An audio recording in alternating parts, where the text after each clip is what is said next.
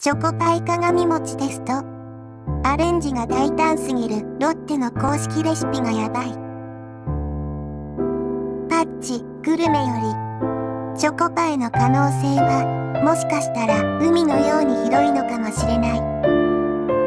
ロッテが公式サイトで提案しているチョコパイ手作りレシピを目にした瞬間、こんな思いが脳裏をよぎりました。というのも、紹介されているレシピの中には攻めている内容のものもちらほらあって大胆にも程があるんです。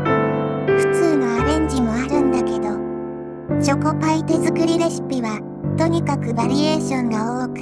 ほとんどはフルーツやクリームなどで可愛らしくデコレーションしたり好きなアイスを添えたりと至ってノーマルなアレンジ。ところがよく見ると切ったレシピが毒も言われぬ存在感を放っているんですよね。は素材で包むという新発想。クレープの皮でチョコパイを丸ごと包むなど、とにかく何かで包むという発想が好きらしいロッテさん。